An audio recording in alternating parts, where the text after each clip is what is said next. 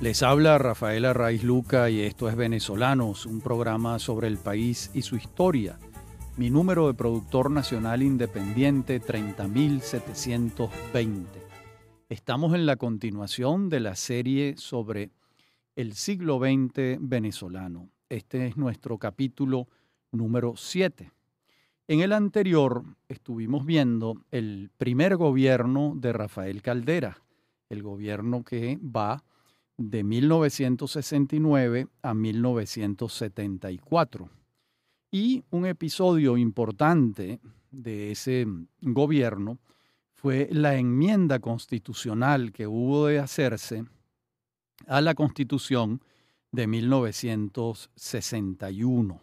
Recordemos que la votación alcanzada por la Cruzada Cívica Nacionalista en las elecciones de 1968 fue motivo de preocupación para las fuerzas democráticas. Primero, la Corte Suprema de Justicia había declarado nula la elección de Pérez Jiménez como senador en 1968 y ahora Acción Democrática y COPEI sumaban sus votos para aprobar la primera enmienda a la Constitución Nacional de 1961. Las encuestas entonces señalaban que de presentarse Pérez Jiménez como candidato a la presidencia de la República en 1973, la suma de sus votos sería considerable. Por lo que la urgencia de la enmienda se hizo perentoria y en octubre de 1972 se presentó el texto de la enmienda al Congreso Nacional. Y en julio, después de 1973, después de que Pérez Jiménez había sido lanzado como candidato presidencial en abril de ese mismo año, el Consejo Supremo Electoral declaró en junio nula su candidatura, con fundamento en la enmienda, que había llenado los requisitos legales en mayo, cuando ya las asambleas legislativas de todos los estados la habían aprobado, porque ese era el mecanismo no solo aprobaba la enmienda el Congreso Nacional, sino las asambleas legislativas de los 23 estados, que en esa época no eran 23 porque habían dos territorios federales, del Tamacuro y Amazonas. Bueno, mm, por otra parte, más allá de esto, mm, de la enmienda, el cuadro electoral mm, se atomizaba en cuanto al número de candidatos ya que llegaba a 12. Pero la polarización bipartidista comenzó a reflejarse como nunca antes lo había hecho entre nosotros. De hecho, puede decirse que el bipartidismo como fenómeno comenzó en estas elecciones de 1973, cuando entre el vencedor de las elecciones, Carlos Andrés Pérez, de Acción Democrática, y Lorenzo Fernández de Copey, entre los dos obtuvieron el 85% de los votos. Los otros candidatos, ¿cuánto obtuvieron? Jesús Ángel Paz Galarraga, del MEP, obtuvo el 5,07%. José Vicente Rangel, del MAS, un partido recién constituido en 1971, obtuvo el 4,26% de los votos. Jovito Villalba, que ya era un hombre mayor, de URD obtuvo 3,07% de los votos y de los otros candidatos ninguno alcanzó más del 1% de los sufragios. Los enumero en orden de llegada, los que obtuvieron menos del 1%. Miguel Ángel Bureli Rivas, Pedro Tinoco, Martín García Villasmil, el general que había sido ministro de la Defensa, Germán Borregales, que se presentó muchas veces a las elecciones, Pedro Segnini La Cruz, Raimundo Verde Rojas y Alberto Solano. Por lo menos en tres sentidos, el gobierno de Rafael Caldera fue de transición. ¿En qué sentido? El primero, en cuanto al paso hacia el bipartidismo que imperaría en Venezuela hasta las elecciones de 1993, 20 años de bipartidismo entre Acción Democrática y COPEI. El segundo sentido es en cuanto a los precios del petróleo, ya que a finales de 1973 pasaron los precios de un promedio de 3 dólares a la astronómica cifra de 10,53 dólares por barril. Esto ocurrió impulsado, estos precios subieron impulsados por la crisis del Medio Oriente, la llama, que se destapó por la guerra del Yom Kippur y por otros factores también. De modo que comenzaba el boom petrolero que le tocaría administrarlo a Carlos Andrés Pérez. La tercera condición transicional del gobierno de Caldera estriba en que la deuda externa venezolana era insignificante durante su primer gobierno y comenzó a crecer astronómicamente durante el primer gobierno de Pérez. Continuó creciendo indetenible durante el gobierno de Luis Herrera Campins y se detuvo cuando ya constituía un problema gravísimo para el país en 1983, cuando el gobierno de Luis Herrera, que veremos en algún momento. Esta paradoja no es fácil de comprender, es decir, cuando los ingresos petroleros venezolanos fueron más altos durante el gobierno de Carlos Andrés Pérez y de Luis Herrera, surgió la deuda externa. Vamos a ver cómo ocurrieron estos hechos. Y fíjense que ahora este periodo del bipartidismo, que abarca 20 años de la vida nacional, estuvo signado por la confrontación natural de un sistema donde predominaron los dos partidos políticos y una alternancia en el poder. Eh, durante estos años 20 funcionó la tendencia a la polarización por la llamada economía del voto y desaparecieron los llamados fenómenos electorales momento de comentar que Venezuela no ha acogido ni entonces ni ahora la segunda vuelta electoral, que es un mecanismo electoral que depura mucho estas circunstancias. Y bien, este cuadro bipartidista va a tener lugar dentro de un entorno contradictorio, signado por las variaciones de los precios del petróleo fueron muy altos los precios entre 1973 y 1982 y muy bajos entre 1983 y 1993, manifestándose en la segunda etapa la irrupción de una realidad económica dramática. En otras palabras, cuando bajan los precios del petróleo, la Venezuela que sale a flote eh, es una Venezuela que no hubiésemos querido ver por la crisis de la deuda externa, la devaluación del signo monetario, el inicio de la enfermedad económica de la inflación, la fuga de capitales que nunca la había habido en esas dimensiones, el control de cambios que no lo habíamos conocido, y todo esto comenzó a ser un pan nuestro de cada día en Venezuela y eran circunstancias totalmente desconocidas por varias generaciones de venezolanos. Esa es la verdad. Además, eh, la agenda pública se adueñó mm, el tema de la corrupción, convirtiéndose en el asunto de mayor importancia para el debate político. La corrupción pasó a estar sobre la mesa. Y estos 20 años, a su vez, los que van de 1973 a 1993 son los del apogeo del bipartidismo, como venimos diciendo, y los de la gestación de la crisis del sistema de partidos políticos. Aquí también va a surgir la antipolítica en estos años. También va a surgir el mito del militarismo mesiánico y el rechazo a las instituciones partidistas por parte de de sectores muy amplios de la población. Veamos entonces este primer gobierno de Carlos Andrés Pérez, que va de 1974 a 1979.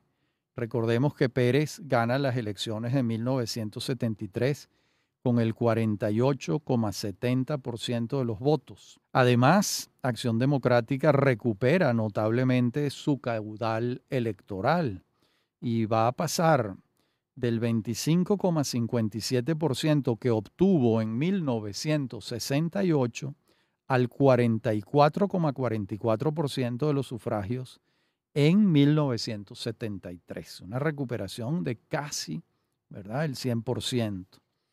Y este ascenso trajo como consecuencia que Pérez pudiera comenzar su gobierno el 12 de marzo de 1974 con un muy grande apoyo popular, con un respaldo en el Congreso Nacional sólido y con el impulso que traía de la campaña electoral, que se articuló sobre la base de un lema entonces muy oportuno, que fue democracia con energía.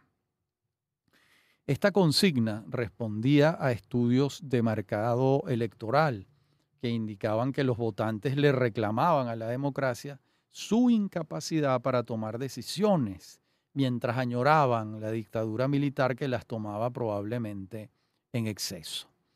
Puede afirmarse que la campaña electoral de 1973 fue la primera que utilizó métodos modernos de mercadeo político y logró convertir a un candidato que se le asociaba con la represión en un hombre abierto a las grandes mayorías. Decía en la parte anterior del programa que a Carlos Andrés Pérez se le asociaba como viceministro de Relaciones Interiores durante el quinquenio de Betancur, de 1959 a 1964, con la represión frente al desafío guerrillero y frente al desafío de la derecha militarista perejimenista que intentó, junto con las guerrillas, alcanzar el poder por la vía de las armas. Y Pérez fue viceministro se le llamaba el, ministro policía, etc. Pero esto con la campaña electoral y con la propia personalidad de Pérez fue mm, superado en términos electorales.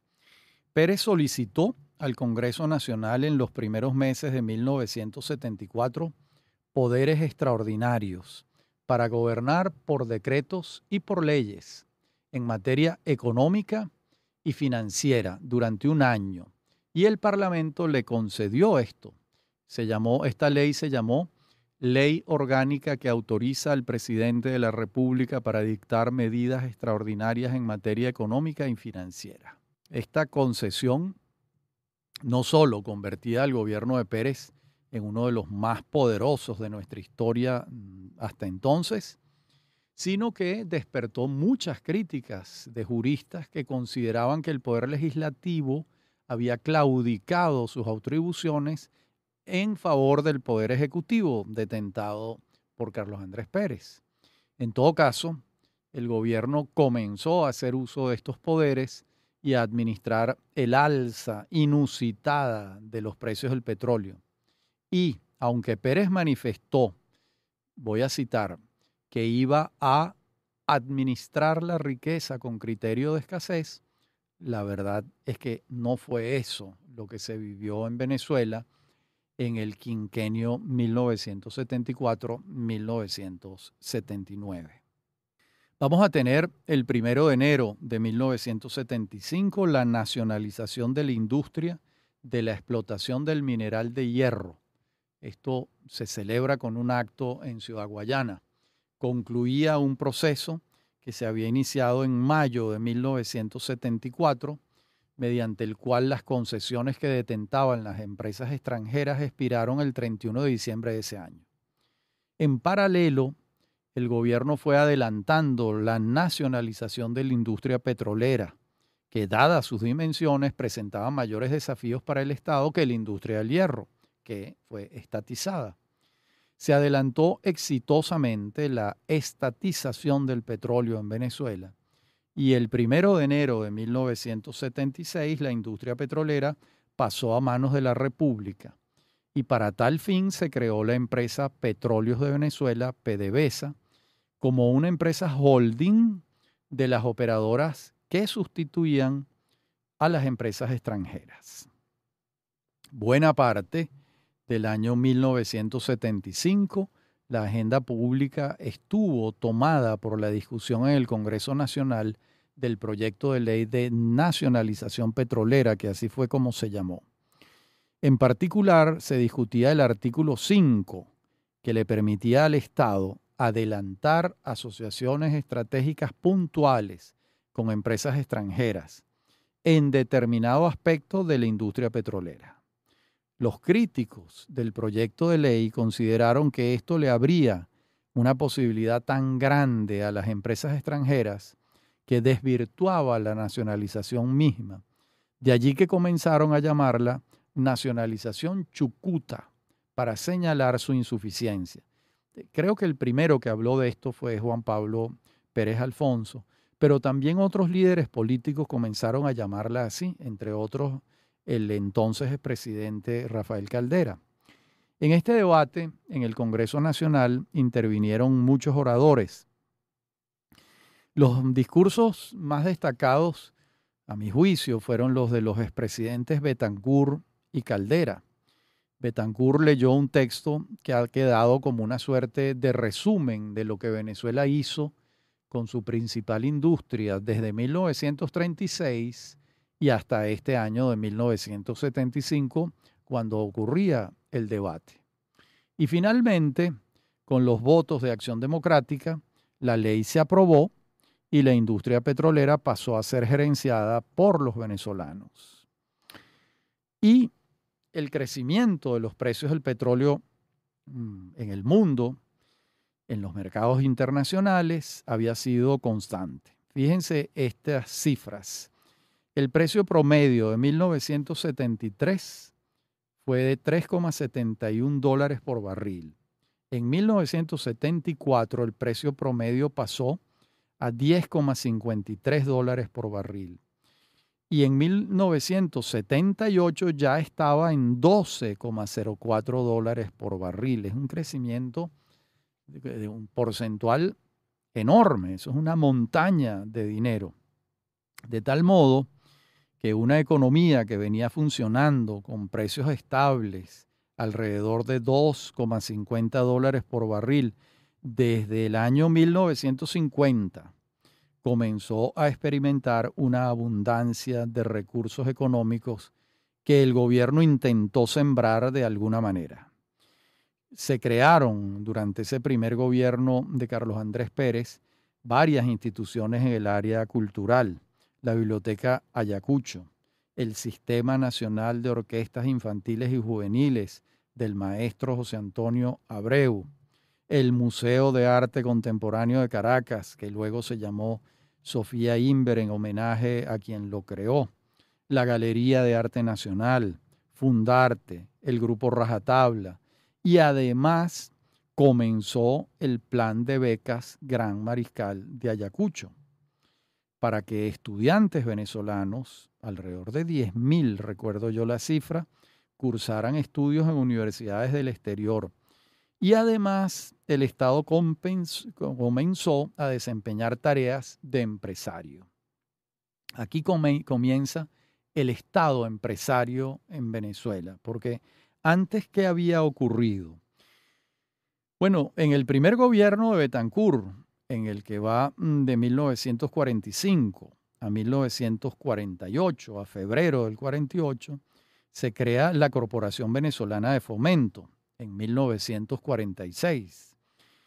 Y el Estado mm, va a prestar labores crediticias de fomento de la industria privada nacional con una institución como la Corporación Venezolana mm, de Fomento.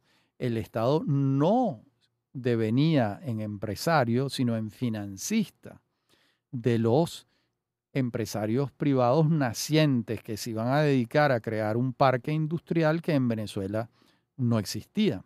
Esto es muy distinto a lo que comenzó a pasar a partir de 1974, cuando en ese primer gobierno de Carlos Andrés Pérez, el Estado comenzó a ser él mismo empresario.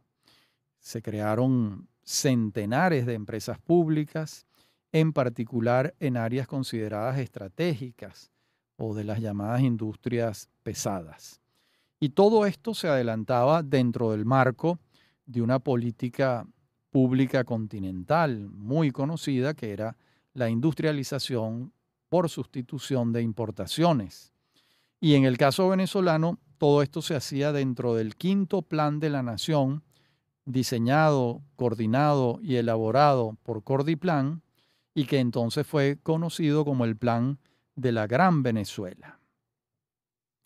Y este modelo económico establecido en el país, fundado en el proyecto de sustituir importaciones por producción nacional, como les dije, a partir de 1946 y la, y la creación de la Corporación Venezolana de Fomento, pues se apoyaba este plan en políticas arancelarias que tendían a grabar al producto importado en defensa del producto nacional.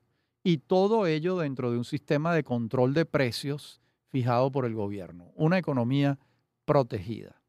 Este modelo que venía funcionando desde finales de la década de los años 40 se va a ver repotenciado por el incremento de los precios del petróleo, obviamente. Y entonces no solo hubo recursos para prestarlos a los empresarios privados, sino que el Estado mismo se dedicó a la creación de empresas. Bueno, con esos niveles de ingresos en el fisco nacional, gozando todas estas empresas estatales de autonomía administrativa, muchas de ellas pidieron préstamos para su crecimiento y los obtenían con gran facilidad por parte de la banca internacional, ya que el respaldo petrolero que tenía Venezuela era suficiente. De modo que para finales del gobierno de Carlos Andrés Pérez, algunos economistas señalaban que el nivel de deuda pública era muy alto, pero la crisis, como veremos, se va a presentar luego en el gobierno de Luis Herrera en el año de 1983. El tema de la corrupción en la agenda pública se va a recrudecer en este periodo y mm, podemos observar cómo los recursos que el Estado recibía se tradujeron en su propio crecimiento, pasando a desempeñar tareas que antes no había desarrollado el Estado, y su tamaño, el tamaño del Estado se hizo gigantesco y la presencia en la vida pública del Estado venezolano era cada día más grande. Y además, como era de esperarse, al circular tal cantidad de recursos en la economía nacional, pues la tentación de la corrupción se hizo todavía más presente. Y este tema fue tomando espacio en la agenda pública. Y mm, no solo se colocó en, en, la mesa de la agenda pública por parte de distintos factores, ¿no? Sino no solo por los partidos de oposición al gobierno, sino incluso por uno de los precandidatos presidenciales del partido de gobierno, que era Luis Piñerúa Ordaz, que tenía una famosa lista que nunca presentó con eh, los, corruptos. Eh, esa fue una de sus banderas políticas. Y esto por sí solo habla de la dimensión a la que había llegado el problema y señala además otro asunto. Me refiero al hecho según el cual Pérez gobernó en permanente comunicación con su partido, pero en AD muchos se resentían porque los funcionarios más destacados del gobierno no formaban parte de sus filas. Era el caso, por ejemplo, de Gumercindo Rodríguez, el jefe de Cordiplan y redactor del quinto plan de la Nación, junto con el economista y músico José Antonio Abreu. Entonces, Abreu, funcionario de Cordiplan. Era el caso también de Carmelo Lauría, que venía de ser presidente del Banco de Venezuela, que se desempeñó como ministro de Fomento del gobierno de Pérez y luego como ministro de Estado para las Industrias Básicas. Era el caso de Diego Arria, que no formaba parte de las filas de Acción Democrática y que sin embargo fue designado gobernador del Distrito Federal, presidente del, del Centro Simón Bolívar y luego ministro de Información y Turismo. Todos ellos eran, por citar los más prominentes, ajenos a Acción Democrática.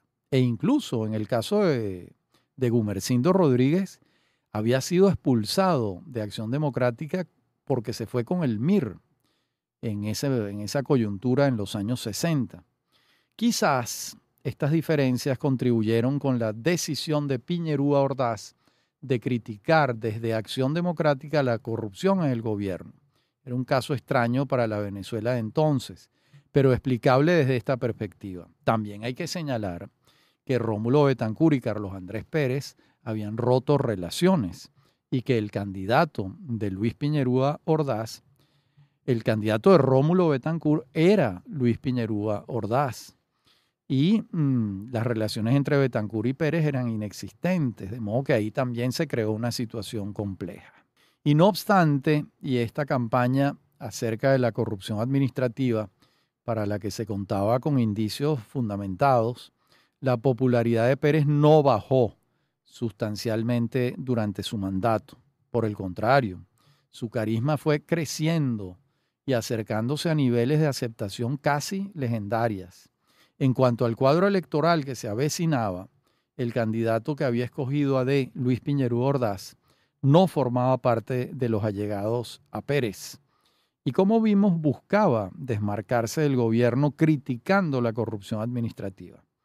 Lo mismo hacía el candidato de Copey, Luis Herrera Campins, con quien las encuestas señalaban que polarizaba a Piñerúa. Finalmente, Herrera obtuvo una diferencia pequeña, ganando las elecciones con el 46,64% de los votos, mientras Piñerúa Ordaz obtenía el 43,41%.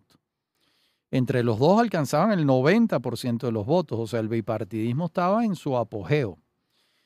Quien parecía destinado a ser un fenómeno electoral en aquellos comicios de 1978 era Diego Arria, ya que había tenido una gran popularidad eh, como funcionario durante el gobierno de Pérez y sin embargo obtuvo el 1,68% de los votos, incluso por debajo de José Vicente Rangel y el MAS, quienes alcanzaron el 5,17% en aquellas elecciones. Era la segunda vez que se presentaba José Vicente Rangel como candidato.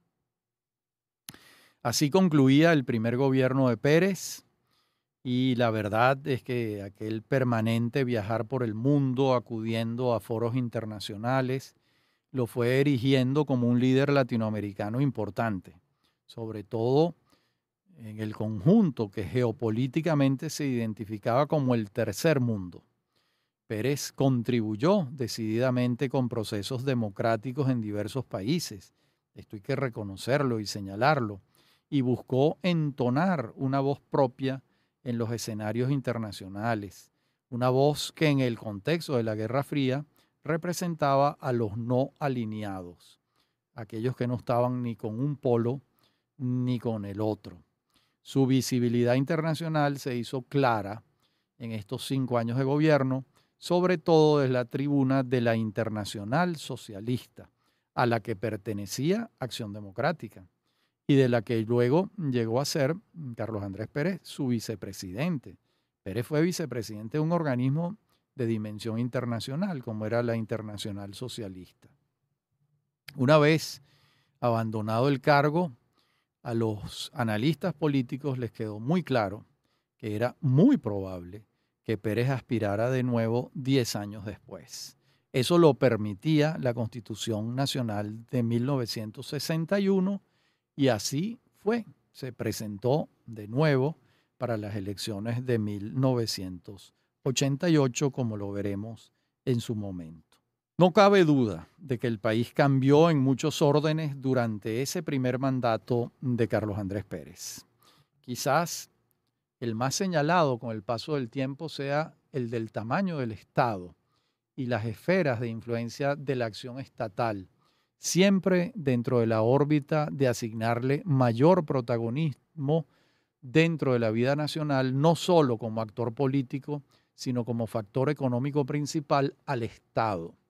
También hay que decirlo, el país se aceleró, pasó de un ritmo presupuestario sosegado a otro, prácticamente vertiginoso, y las consecuencias de este impulso, dado por los precios del petróleo, obviamente, y por la personalidad de Pérez, Todavía se discute si fueron convenientes o no. En cualquier caso, a la luz de los hechos posteriores, todo el proyecto de endeudamiento público fue desastroso para la economía del país. Pero hay que señalar que cuando se cuenta con altos ingresos, son pocos los que piensan en qué ocurrirá cuando no se disponga de ellos, cómo pasar de las vacas gordas a las vacas flacas. En cuanto al trasfondo político de su gobierno, salvo que no escogió a los más conspicuos dirigentes de su partido para todos los cargos de significación, cumplió con las líneas trazadas por Acción Democrática desde su fundación. Y le tocó cumplir uno de los mayores sueños de su partido, que era la estatización de la industria petrolera.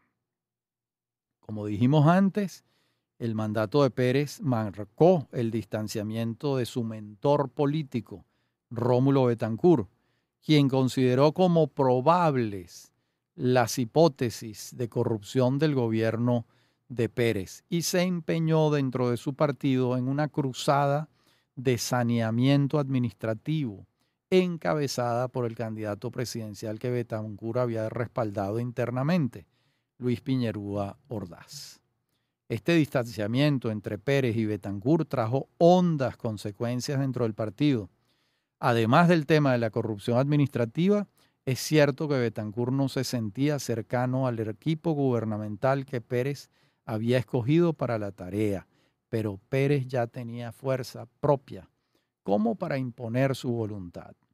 La tensa situación dentro de Acción Democrática entre Betancourt y Pérez se prolongó después del gobierno durante dos años más, hasta que la muerte le salió al paso al fundador del partido, Rómulo Betancourt, en 1981. Vamos entonces a ver eh, el llamado, eh, la presidencia de Luis Herrera Campins, una presidencia que va de 1979 a 1984 y que Mm, comienza el 12 de marzo de 1979, cuando Luis Herrera forma un gabinete ejecutivo en el que la mayoría de los integrantes provienen de la región centro-occidental del país, algo que no había ocurrido antes, ya que siendo Herrera uno de los fundadores de COPEI, desde el comienzo de su vida pública logró aglutinar en torno suyo un conjunto de compañeros de visión política en su mayoría provenientes de su estado natal, portuguesa, y de los estados vecinos, Lara y Barinas. Este dato es significativo porque desde los tiempos de la hegemonía tachirense, entre 1899 y 1945, en ningún gobierno se había notado un sesgo regional como en este de Herrera Campins que se inauguraba. Esto fue una sorpresa. Además, se trataba del primer dirigente de COPEI que alcanzaba el poder sin pertenecer a la corriente de allegados a su líder fundador, que fue Rafael Caldera. Y en la matriz de opinión del venezolano, Herrera se ubicaba a la izquierda de Caldera y se le entroncaba con tradiciones venezolanas más ligadas con el campo y el interior del país que con, capital, que con la capital y sus prácticas propiamente eh, palaciegas. En el discurso de asunción de la presidencia de la República, Herrera manifestó que recibo un país hipotecado, aludiendo a la deuda pública contraída por el gobierno de Pérez. Y entonces los venezolanos creyeron que comenzaba un gobierno austero de prácticas más domésticas y menos internacionales, guiado por la doctrina de la democracia cristiana. Pero los hechos al final de su mandato señalaron un resultado diferente, como veremos luego. Ese año de 1979 tuvieron lugar las elecciones municipales, con la particularidad de que fueron las primeras en muchísimo tiempo que se realizaban separadas de las presidenciales y aunque la abstención fue alta, el resultado favoreció enormemente al partido de gobierno. Copey alcanzó el 49,04% de los votos, mientras AD bajó al 30,17%. Y los partidos, los otros partidos de izquierda, el MAS, el MIR, el MEP y el PCB, juntos alcanzaron una cifra de 15,26% de los votos. Y esto es interesante señalarlo porque fue la votación más alta de la historia de estos partidos. Claro, cuando separas las elecciones, eso favorece a los liderazgos regionales y a, la política municipal. Sin embargo, la abstención en estas primeras elecciones separadas municipales llegó al 27%. Mm, quizás a los ojos de hoy eh, no nos parezca tanto, pero en aquel momento fue algo importante. Y las diferencias de estilo entre Herrera y Pérez mm, significaron una suerte de cambio de ritmo para el país. Pero en relación con las políticas públicas de fondo, continuó el esquema del Estado empresario y el avance del Estado como actor y factor principal de la economía. El énfasis del gobierno estaba colocado en aspectos educativos y culturales y en seguir avanzando como fuerza política que perseguía desplazar a su adversario principal, Acción Democrática. Quizás, inspirado por este proyecto, fue hecha la denuncia por parte de Leopoldo Díaz Brusual, alto funcionario del gobierno, sobre el buque Sierra Nevada. La denuncia implicaba a un exministro de Fomento de Pérez, al expresidente de la Corporación Venezolana de Fomento, y la acusación versaba sobre un sobreprecio en la compra del buque. Por esta vía se pretendía imputar a Pérez, y el debate público terminó decidiéndose en el Congreso Nacional en una votación histórica el 8 de mayo de 1980. Las cámaras determinaron que sobre Pérez pesaba responsabilidad política, mas no administrativa y moral.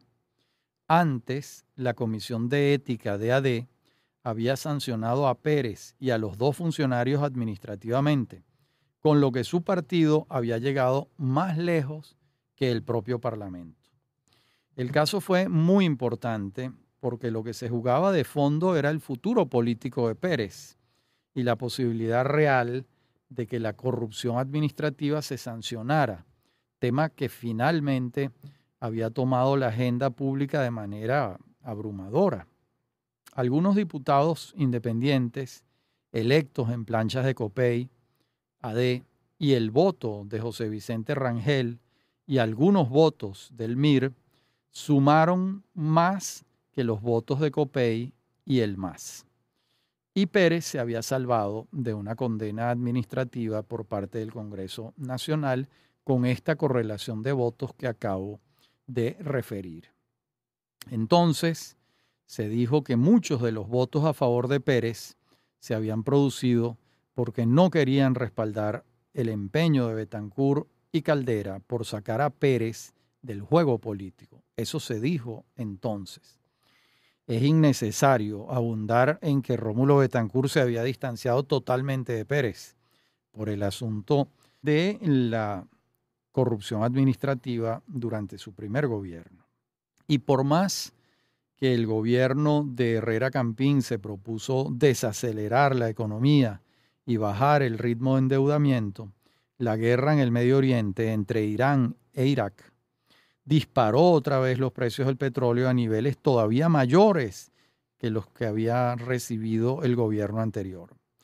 Si el precio promedio del barril venezolano en 1978 fue de 12,04 dólares por barril, en 1980, apenas dos años después, el precio promedio fue 26,44 dólares por barril de tal modo que el ritmo de inversiones por parte del Estado y la asunción de deuda pública no se detuvo hasta que México en 1982 se declaró en mora para cumplir con sus pagos y esto encendió la alerta roja en el mundo financiero, ya que temían que otros países comenzaran a manifestar lo mismo. La deuda en Latinoamérica más grande era la de México, luego estaba la de Brasil y luego la de Argentina y la de Venezuela en el cuarto lugar. Curiosamente, no son pocos los economistas que afirman que el origen de esta deuda estaba en los enormes recursos que los países árabes petroleros colocaron en la banca internacional y ésta tuvo que salir a buscar a quien prestárselos y halló deudores en estos países que les acabo de mencionar. Y en el caso de Venezuela es irónico, por supuesto, porque el país además fue beneficiario de los precios petroleros y encima del mm, endeudamiento, eh, lo que es una ironía. Y a la crisis súbita de la deuda externa se sumó la caída leve de los precios del petróleo, que comenzó a manifestarse en 1982. Esto, más el pronunciamiento de México, condujo a que los venezolanos que tenían cómo hacerlo comenzaran a comprar divisas, alcanzándose un monto de compra contra las reservas internacionales que el Estado ya no pudo soportar. Y se hizo necesario cerrar la venta de divisas el viernes 18 de febrero de 1983 y proceder a fijar un control de cambios diferencial y a devaluar la moneda. Entonces se creó RECADI, Oficina del Régimen de Cambios Diferenciales, que estableció un cambio a 4.30 por dólar y otro a 7.50, que luego fue moviéndose. Además, se le encomendó a una comisión ad hoc el trabajo de establecer el monto de la deuda externa venezolana, tanto la pública como la privada. Es evidente que el modelo económico venezolano, fundado inicialmente en la industrialización por sustitución de importaciones, conocida como la ICI, luego con el añadido del Estado empresario iniciado por Carlos Andrés Pérez en su primer gobierno, y siempre sobre las barreras arancelarias y los subsidios a los productos nacionales, había entrado en crisis. La deuda y el comienzo de la caída de los precios del petróleo dejaban desnudo al modelo venezolano. Comenzaba otra etapa para el país. En materia internacional, el gobierno de Herrera diseñó una política para Centroamérica que buscaba el cese al fuego y la reinstauración de la democracia. Y no fueron pocos los esfuerzos en este sentido.